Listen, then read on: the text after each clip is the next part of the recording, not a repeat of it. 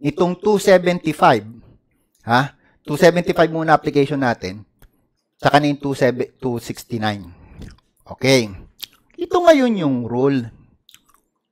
Kilalang kilala na to ni Mao. Revenue Memorandum Order. Okay. So sa Revenue Memorandum Order, ito ay naka-address sa revenue officials. So therefore, ito ba ay rules and regulation na nire-require ng Department of Finance? Pag-aaralan natin yon.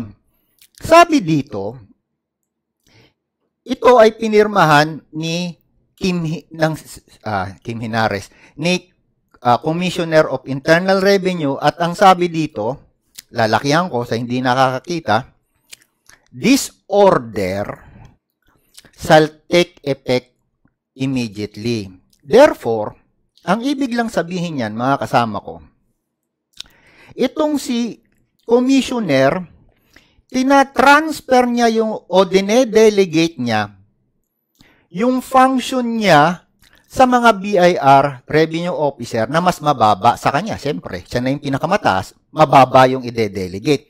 Ino-orderan niya. So, pang kumbaga sa militar, pag inorderan ka nung general, wala kang ibang choice kung hindi sumunod. Ganon din sa BIR. Pag inorderan ka ng commissioner, wala kang pwedeng gawin kung hindi sumunod. Now, ang tanong, nasusunod ba yung order ni commissioner? At si commissioner ba ay na na mo-monitor niya yung uh, utos niya sa mga BIR official? Definitely, ang sagot doon, hindi. Susunod, imo-monitor ba ng mga revenue district officer na merong immediate supervision and control doon sa mga revenue officer na kausap natin, yung mga revenue officer. Hindi, walang gumagawa nun. Okay? Eh sino magmo-monitor ngayon? Tayo, mga taxpayer. Okay? So paano natin imo-monitor? For example, itong nakasulat dito. Sabi dito, pakibasa mo nga, Ma'am Gia, number 25. The report of investigation or verification of cases covered by ELAS, TVNs, or MO, MOAs pursuant to this order shall be submitted by the RO within the following prescribed number of calendar days. Okay. So, lahat ng ELA dapat matapos daw ng 180 days. Yun sabi. At ang ginamit na utos, si Kim Hinares ang pumirma nito, commissioner ng BIR. So, dinelegate niya, o sige, pwede ka mag-audit, pero ah, dapat tapusin mo ng 180 days.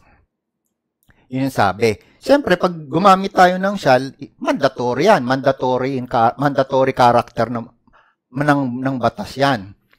Ngayon, may mga kliyente ngayon, yung grupo natin, na yung letter of authority lumagpas na ng 180 days. Wala pang report of investigation. May violation na ba? The answer is, yes, may violation na. Yung order ng CIR hindi nasunod. Kaya lang, ang order ng CIR ang hindi nasunod hindi yung order ng Department of Finance. Kasi yung order ng Department of Finance, yung rules and regulation na promulgated ng Department of, of Finance, yun yung may penalty na 6 months imprisonment. Pero, yung utos ng commissioner na hindi naman siya membro ng Department of Finance, eh, wala siyang, walang penalty. Ganon yung kanilang situation, kaya napakahirap hulihin ang BIR. So, ang ang penalty rito, under, eh, under RMO, ayan, pakita ko sa inyo. Ito ngayon yung pine, pakibasa mo nga uli, RMO, Revenue Memorandum, GIA.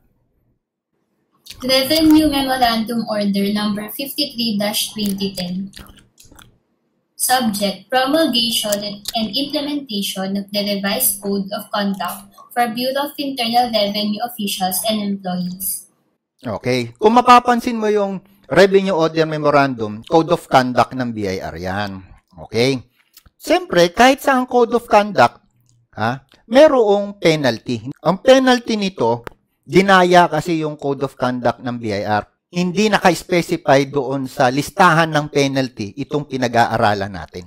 Ibig sabihin, wala siyang penalty. Kahit nag, na, nakasulat dito na yung unreasonable delay, unjustifiable delay sa audit which is beyond 180 days.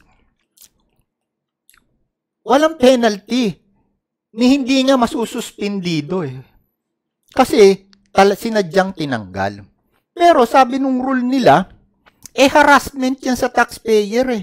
Pag lumagpas na ng 180 days, harassment na yan.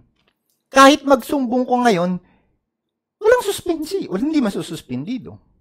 So, saan ka ngayon tatakbo? Okay, sa tatakbo. Paano natin ngayon um, i-convert itong revenue memorandum order into rules and regulation promulgated by the Department of Finance. Iko-connect ngayon natin siya para magamit ngayon natin ito pagpa-file sa DOJ ng criminal case against BIR revenue officer. Okay. Ito ngayon yon.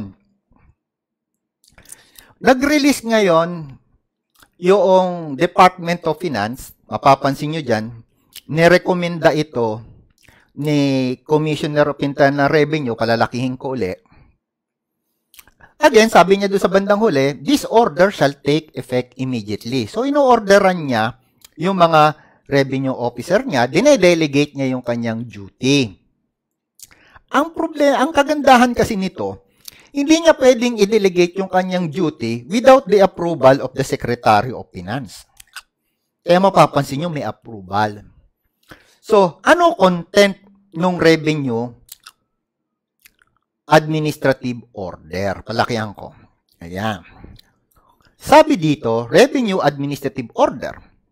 Subject, organization and function of the regional offices, each division and section and revenue district offices to all revenue officials and employee. Ibig sabihin, pinatutungkulan lahat ng revenue office, revenue all internal revenue officers employee ng regional at saka ng revenue district offices. Yung dalawang opisina na yan.